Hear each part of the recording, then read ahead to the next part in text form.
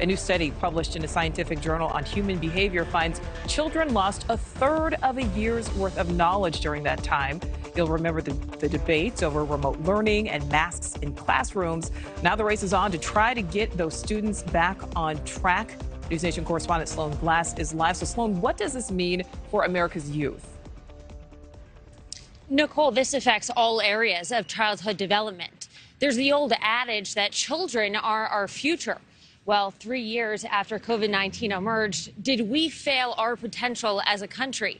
This analysis showing that some students lost up to half a year of knowledge during the pandemic, and we are far from rebounding from those losses.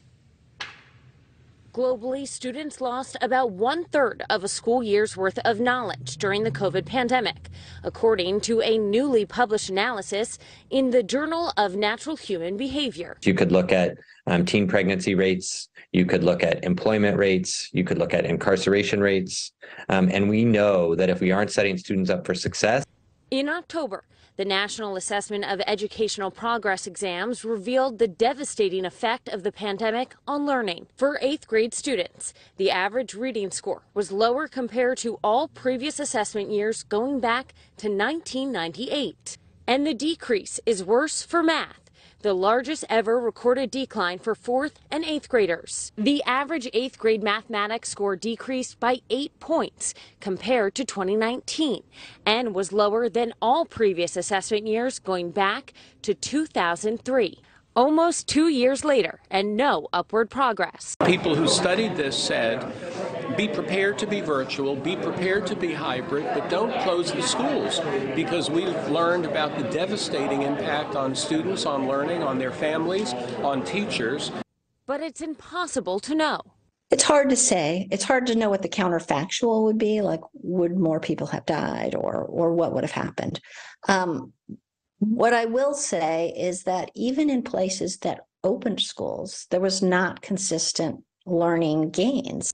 Many blaming the increase in crime on school closures. However, the data shows over the past decade nationwide, the rate at which minors have broken the law has fallen significantly. I think it's um, pretty hard to connect any individual input to the certain like outcomes in terms of our crime rates. I think there's a lot of people smarter than me that have tried to figure out what causes crime rates to go up or down. What we do know, shutting down schools had a profound effect on students' mental health interestingly my daughter of the three.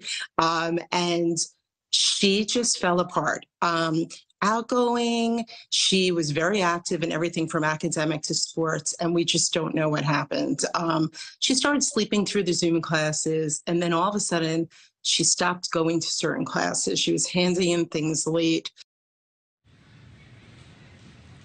The education researchers who I spoke to say that addressing that attendance decline is key to this problem.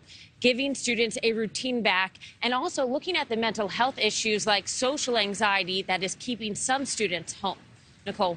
All right, Sloan, thank you for that. Thank you for watching. Go to newsnationnow.com to find News Nation on your television provider. And don't forget to click the red subscribe button below to get more of News Nation's fact driven, unbiased coverage.